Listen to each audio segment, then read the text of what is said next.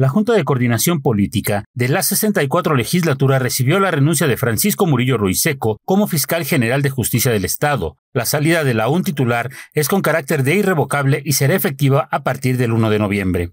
Tras el encuentro con los diputados, Murillo Ruiseco informó que también tuvo una reunión con los secretarios general de Gobierno, Rodrigo Reyes Muguerza, y de Finanzas, Ricardo Olivares Sánchez, para solicitar un aumento de 5% al presupuesto de la Fiscalía del Estado. También celebramos una reunión de trabajo con la Secretaría de Finanzas, con el secretario Olivares, para dejar encaminado el tema del presupuesto 2024.